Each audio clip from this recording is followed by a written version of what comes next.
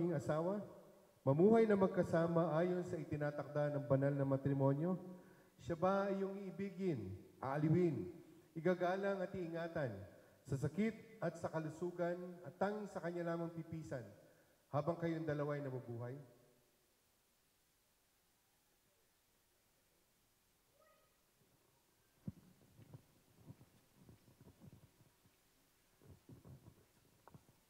Opo. Opo, Pastor. Palapakan naman po natin ang kasagutan niya. Purihin ang Panginoon.